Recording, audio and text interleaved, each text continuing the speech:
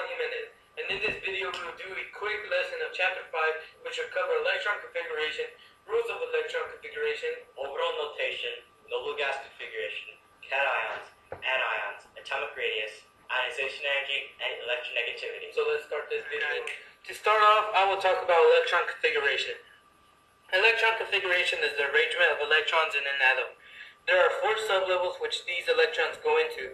These are S, P, D, and F. The S sublevel has one orbital, while P has three, D has five, and F has seven. These orbitals are by the vertical line. Each orbital can only have two electrons.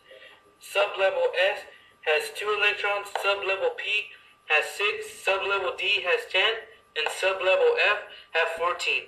These electrons are represented by the up and down arrows. Groups 1 and 2 and elements helium and hydrogen only go up to the sublevel S. Groups 3 through 12 only go up to sublevel D.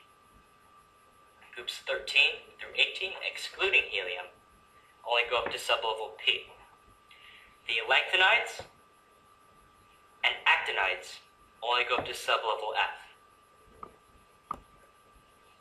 Electrons have to fill up in a certain order.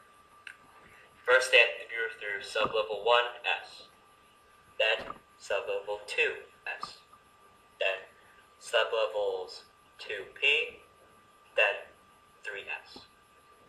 Then you to go through 3p and 4s, then 3d, 4p, and 5s,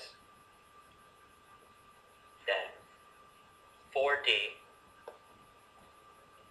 5p, and 6s.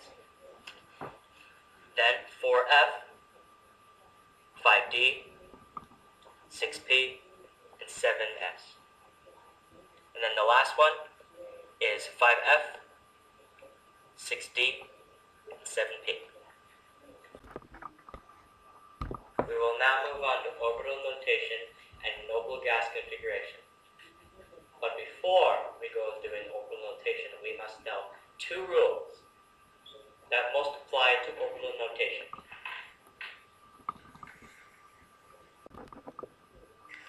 Rule states you must place one electron in each orbital before you place a second electron in any orbital of the same sublevel. The Aufbau principle states that an electron must fill the orbital of the lowest energy level first. Let's start off with nitrogen first, which has 70 electrons. Because we have to fill up the lowest energy level first, we have to go to energy level 1, sublevel S, then 2S, then 2P. Because of Aufbau's principle, we fill up the lowest energy level with the first electron.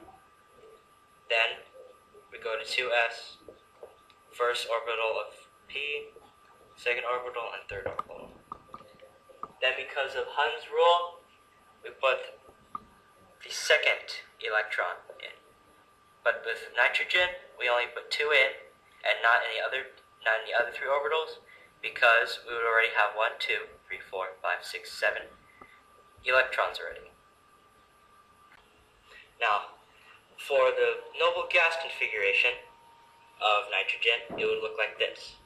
It would be helium between brackets, 2s for second energy level of sublevel S, a 2, a 2p standing for the second energy level of sublevel P, and then a 3.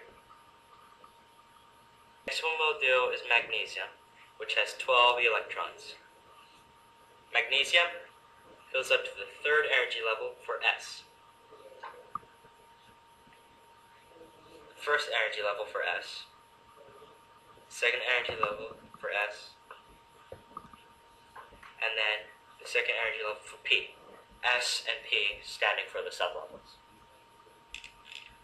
Because of Aufbau's principle, we have to fill up the lowest energy level with the first electron. And then also because of Hund's rule, we have, we have to put in one electron in each orbital. Also because of Hund's rule, we could now we can now put in the second electron.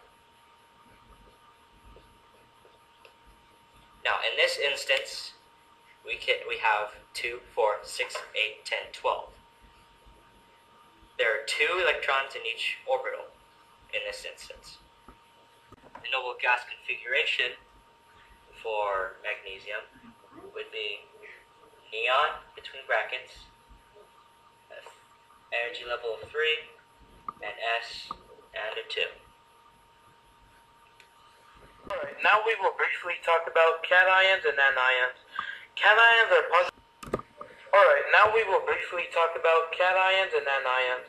Cations are positively charged ions as seen on sodium and aluminum, which are represented as the plus signs. Anions are negatively charged ions, which are represented in oxygen, fluorine, and nitrogen by the negative sign.